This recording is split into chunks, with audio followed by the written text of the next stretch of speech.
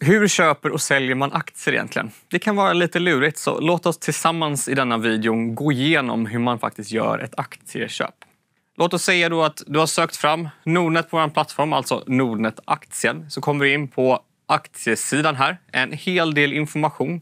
Eh, vi kan kort gå igenom det. Här har du lite realtidsinformation, hur aktien handlar idag och vad som har hänt idag. En graf över aktiens utveckling historiskt sett. Och sen har vi orderdjup och avslut. Orderdjup här är en samling av alla ordrar som ligger i marknaden. När vi sen ska gå igenom hur man handlar en aktie så är det då att man lägger en order. Så här är en samling av alla dessa ordrar som ligger i bara den här aktien. Och senaste avslut här under är alla transaktioner som har gjorts då i den här aktien av andra människor eller fonder eller andra banker. Låt oss säga då att vi vill köpa den här aktien. Klickar vi här uppe i högra hörnet på köpknappen och hamnar på den här vyn. Ser lite annorlunda ut från förra sidan. Sakerna har flyttats runt lite men det är samma information fortfarande. Det som är nytt är den här orderläggningsvyn. Den börjar med att du väljer vilket konto du vill köpa aktien ifrån. Eh, ordertypen här kan ligga kvar som enkel.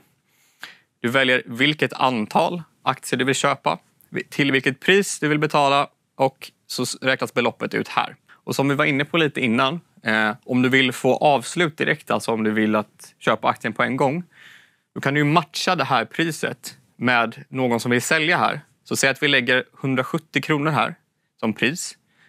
Då är någon här som vill sälja 78 aktier till 170 kronor. Då skulle vi teoretiskt sett nu då kunna lägga in 78 aktier på antal, 170 i pris och få de här aktierna direkt till vårt konto.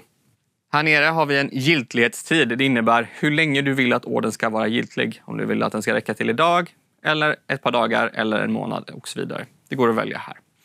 Längst ner här utan så får du en uträkning på courtagekostnaden. Vi kan gå igenom det lite mer i detalj senare i videon, men det är alltså den avgift som du betalar när du köper en aktie. När det här är klart sen så trycker du på köpknappen här nere. Om du lägger en order på 165 kronor, då läggs den i marknaden. Men den kommer inte gå till avslut ännu. Det gör den för att det finns ingen som vill sälja till 165 kronor ännu. Så att antingen får du vänta tills den kommer till 165 eller så kommer giltighetstiden ta slut. Den här ordern kommer ligga då tills eh, dagens slut eller att du får avslut om aktien handlas ner till 165 kronor. Och för att se dina liggande ordrar, längst upp till höger på sidan står det ordrar. Om du klickar på den sen så får du upp en orderpanel här där du ser den här köpordern vi la på 165 kronor. Den här, just den här ordern som vi la då, den gällde ju bara idag. Så den kommer ligga där tills idag och imorgon så är den borta. Men lägger du en långtidsorder så kommer ordern ligga här tills den går till avslut då så att säga.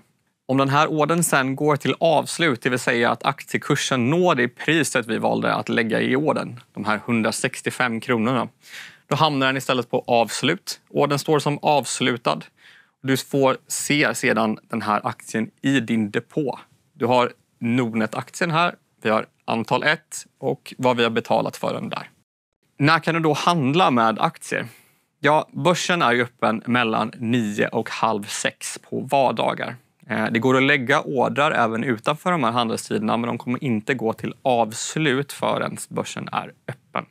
Om vi ska titta lite på det här med courtage då. Courtage är alltså den avgiften som du betalar för att handla med aktier. På Nordnet har vi ett jättebra kom igång-erbjudande som ger dig möjlighet att handla gratis med aktier på Stockholmsbörsen när du har under 50 000 kronor i sparande.